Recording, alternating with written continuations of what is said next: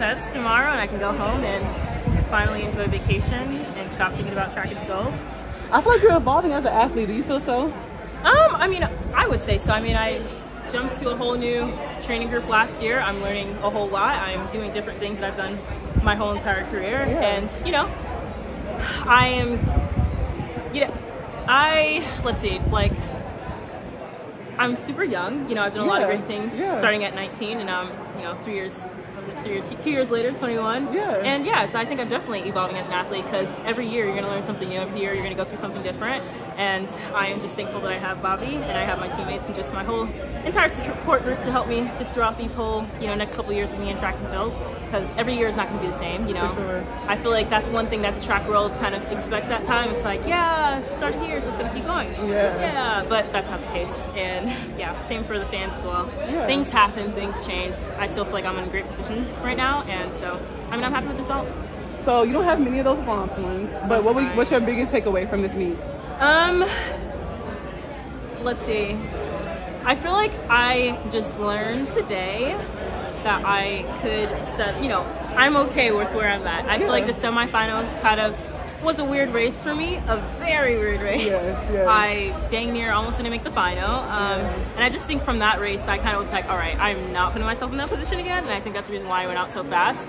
Uh, but I mean, nothing that was outside of my capabilities. I think you know, at the end, obviously, going out 56 flat basically is really fast, and yeah. I'm still running with really incredible athletes. That's why they were still with me the Yeah. whole entire race, and so Yeah. I'm not upset with it at all. But um, yeah, I'm just be a little more settled. Yeah. Uh, listen to Bobby a little more, and you know, just just you know, do what I usually do. For sure. And last thing, we proud of you first of all. Super Okay, proud of you. you. What about the spikes? Who, who did the spikes? what did you? I did not. This would have taken me a million and one years. Um, no, I, I'm so bad. I definitely forgot his name. But okay. someone else in LA did Okay, it for me. Um, okay. but they were approved by Nike, so I guess that was pretty helpful. Yeah. Uh, but yeah, I mean, I just thought about last minute. I was like, hmm, what can I do to be different? Yeah. Who's gonna have bedazzled spikes? No one. Literally. So I just wanted to do that and have fun a little bit. You're the first to do it, girl. We ain't gonna forget it. I know someone already told me that they're gonna do it for the next spike, so I was like, oh, okay, great, I love it. Second. Thank you so much for stopping by. I'm super proud of you. No problem, thank you. Thank you. Can you talk about the decision coming in? Bobby said you may not run. Sorry. Can you talk about the decision? Do you think Bobby said you may not run and you decided to run nationals? What was your mind? What was your thinking about that coming in? Um, well, I mean, we are going to run nationals regardless, whether it's 15, the 8, 4, 3, and whatever. I was just it's really getting neat to get some you know competitiveness in.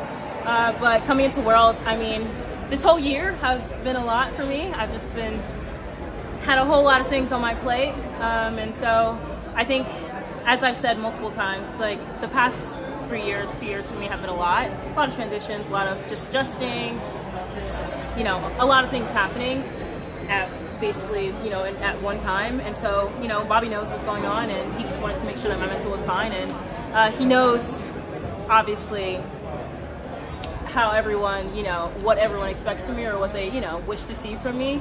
And so i mean he just wanted to take that pressure off of me and just let me you know do what i could because this sport is very long. We have many years ahead of us. And i mean possibly taking a year off wasn't going to be that big of a deal but he just wanted to make sure i was okay before you know going out there and you know handling the world once again When did you decide to actually compete?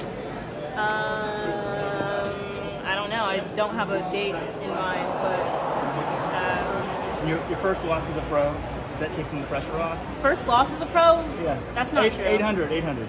Uh, actually, I lost in the semis. I got second. Forgot. Well, hey, The major we, we don't count that one. First, okay. Well, that shows your competitive nature, but yeah, how do you?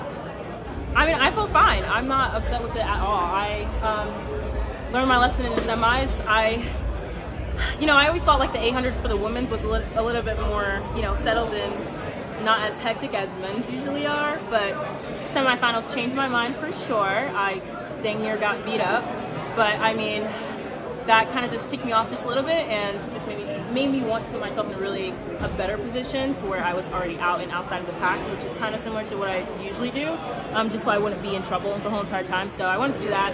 Um, obviously, the field was coming out with me, so the pace was pretty fast for the first 200. But I wanted to make sure I still kept that momentum going into the uh, you know the 400 and turned out to be 56.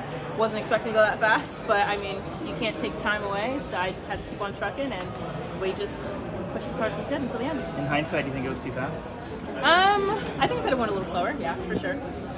And you said you couldn't wait to get on vacation after this. Did you enjoy any part of this experience in Budapest? Did I enjoy a lot of this experience? Like, Did you, I mean, did you, did you enjoy any parts? It seems like it's something you kind of had to endure as opposed to, you know, Um, I think I, um, let's see. I put myself in a position to where I was able to enjoy it a little more. I mean, coming to this meet, I kind of, you know, the world was already talking about me, whether or not I was coming.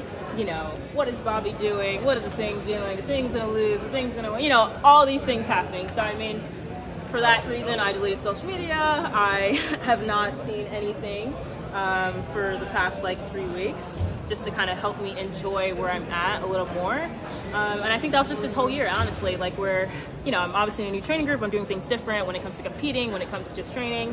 And obviously, no one really gets to see the insights of things, and so they just come up with their own assumptions and their own ideas, and you know, put things out in their own perspective. You know, they don't really know what's happening, and of course, that's gonna bother us athletes. It's like, you guys like, I mean, like, what do you guys expect from us? You know, and most of the time, it's like we want to enjoy what we're doing, want to enjoy where we're at, but to a certain extent, it kind of just makes us lose like kind of heart for the sport because it's like, dang, are we ever gonna be good enough? You know, like, are we ever gonna be okay? Are you guys all, you know, obviously there's people out there who's gonna love you for whatever you do, but you know, I just like people can just take a chill pill sometimes, and just you know, let us do our thing, and you know, just I don't know, let us be athletes. and You- Bobby, sorry, okay. no, I was just saying, like, I just feel like the world expects so much, even while they give us so much, and it's just like, okay, you want us to be good, or do you want us to be mid? Like, what's what do you guys really want? I think, what do you think you need to do personally to be able to um, overcome all this pressure coming on you? Uh, the weight went this year, as you were saying, all the things that were happening to you. Yeah. How, how can you handle that? Um, I mean, I feel like it's just doing things that I've been doing. I've deleted social media. I've avoided media for the past two races. Uh, finally talking to you guys now. Um, but I mean, I don't know. It's something I'm just gonna have to learn with as I go. I mean, I feel like just because I got bronze today, that's not gonna take anything away from you know my resume. It's gonna take any. It's not gonna take anything away from what people expect from me or what they think about me. Um, so I mean, just taking it day by day. This is a growing experience. I started off really well, super young. So I mean, it's always going to be on my plate, no matter how far I go in the sport. So I mean, just I don't know, taking it day by day. It's a learning process. I won't find the answer tomorrow, probably not the next day, probably not even next year. But I mean, we'll just see as they, as you know, as we progress. vacation starts tomorrow? Man, vacation starts right now, right after that race. Where are is you done. going? Um, I have no idea, but I would definitely not tell you guys. All right. Congratulations for your move. Thank you. Are you all gonna get like Formula Kersee back going? Y'all slowed down significantly, or leading up Yeah, championship. I know, I know, I know. I feel like as so we were we had plans for the for the page, uh, but things didn't really play out. Obviously, we started really late with the whole idea, but um, I think next year we will put ourselves in a better position. But obviously, when the season starts kicking up into its championship season, like no one, we didn't have anyone professional to take over the page, so I mean, we couldn't really do it, you know, as individually. So I think next year going into, we probably will make sure that we have that set up going into the season because we definitely have a lot of followers. I think we're at like six thousand or something like that. So. I'm holding you to it. Hey, don't hold me. Hold Formula Kersee. I think Group of nine. when Bobby talks to the LA Times and says, "Hey, you're mulling Sorry. and skipping worlds," like, did he tell you he's going to say that, or how do you find out about that story? Because it seems like it lumped a lot of attention on you um, when he did, did that. I mean, whether Bobby told me, he didn't tell me. I mean, like I knew, but like, it doesn't matter if we had a conversation or not. The world is still going to talk about me because I'm the athlete. You know, obviously, it's, it's both of us in this. We're a team, so I mean, it was going to happen regardless. Where it was still going to be a really big conversation, as you know, I am the reigning Olympic and world champion at 800. So I mean, it was going to be there regardless. So um, I don't think. It was something that would have been a different uh, situation. And what was the main reason for you considering not running this meet? Um, I don't know. I just feel like I've been going through a lot. So I mean, not just this year, but the past two years. There's been no break for me. Um, college to professional to then moving to LA. Like it's it's a lot, and I don't think any one athlete has really done all that in the past couple of years. And so it's it's a lot to handle, especially at a super young age and not really having. Um, you know the whole world to help me through this whole thing you know it's just me and you know my family and my support system and so it's still a lot and i'm still trying to train to be the best athlete it's like there's a lot going on you know it's not it's not easy It's been a lot with you know Olympics, Worlds, Worlds, Olympics. exactly yeah Uh, what, I guess when you accomplish the gold medal, the world championship medal, American record, I guess what is it that excites you? I guess right now in the sport.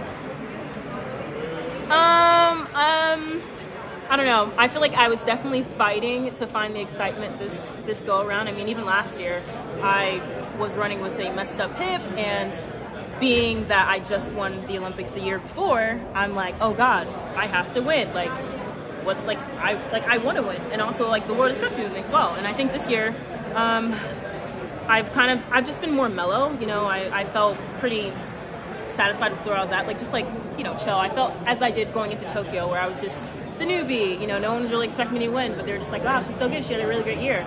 I felt that that, that way this year, but I mean, I don't know. I kind of just fought really hard just to kind of get my groove going and just to really resonate with the fact that I am competing at Worlds. You know, it's been more so like, geez, it's been a long week and a half. I'm ready to go home.